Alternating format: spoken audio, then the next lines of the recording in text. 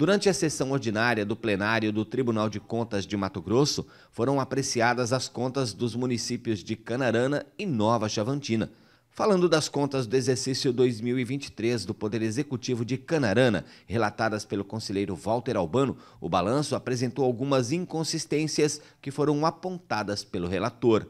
Não adoção de algumas ações previstas na Lei de Diretrizes e Bases da Educação Nacional. Citado, o gestor apresentou defesa. Após ser analisada, a terceira SESEX manifestou-se pelo saneamento das irregularidades gravíssimas 3 e 4 e das irregularidades graves 5 e 3 Após a apresentação da defesa, ficou evidenciada a necessidade de medidas corretivas relacionadas aos demonstrativos contábeis.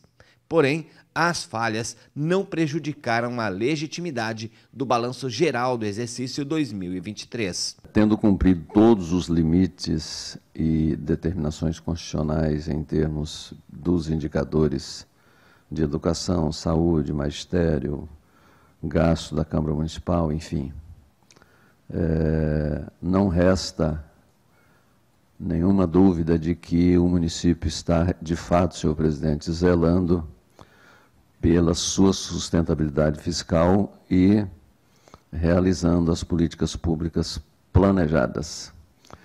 Por tudo isso, então, acolho a opinião do Ministério Público de Contas e voto no sentido de emitir parecer prévio favorável à aprovação das contas de governo da Prefeitura de Canarana também nesta sessão presencial foram apreciadas as contas de Nova Chavantina, tendo como relator o conselheiro Walter Albano, que detalhou o balanço apresentado pelos gestores municipais e votou pelo parecer prévio favorável à aprovação das contas. Ao analisar as referidas contas, verifico o cumprimento dos limites e percentuais constitucionais legais, assim como a ocorrência de superávit orçamentário e financeiro, com relação às irregularidades, afasto a, integralmente a número 1 e 3, é, e também a 8, relativa registros contábeis e compensação dos valores não aplicados à manutenção do ensino 2020 e 2021, diante da comprovação de que foram implementadas despesas com investimentos na educação.